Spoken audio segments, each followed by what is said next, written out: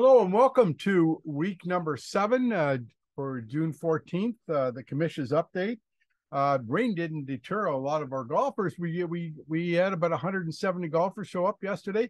You know what? I, it was funny. It was a funny rain. Like uh, I I played in the whole rain, and uh, what I found was, uh, you know, you'd go out, you hit your shot, you get a little wet. By the time I got to my next shot, my shirt was dry, so it wasn't a it wasn't a bad rain. In fact, I quite enjoyed it. Uh, so it didn't hamper things a lot.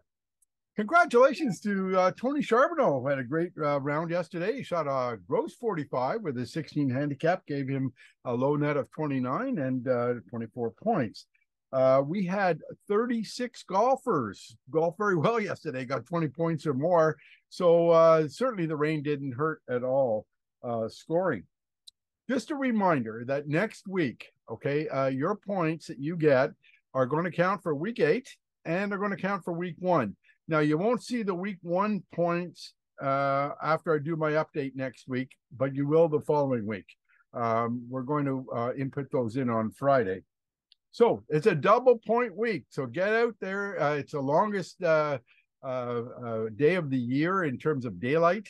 Uh, so you can get out at 7:30 and, and get your round in. It's going to be a beautiful day. It looks like it's going to be hot, but uh, it'll it'll be uh, sunny most of the day. It looks like so. Uh, that's wonderful. Get out there and get those double points.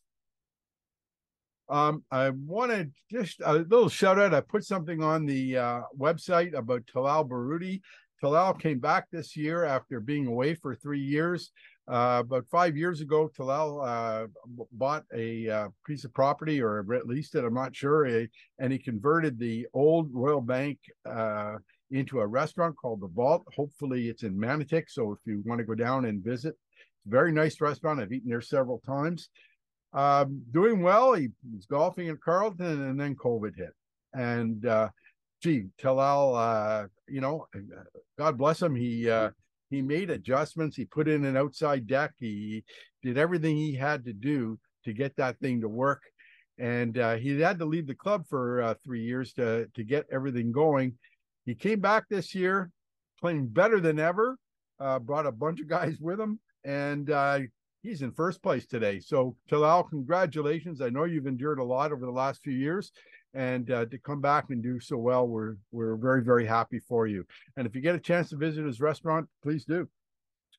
Um, I, I don't normally do this, but we had two new members this week. One, Kevin Green, and uh, welcome, Kevin. You're on a team, and uh, Aziz Mohammed. Now, Aziz, I understand, was here in 1988. So you people have been here a while.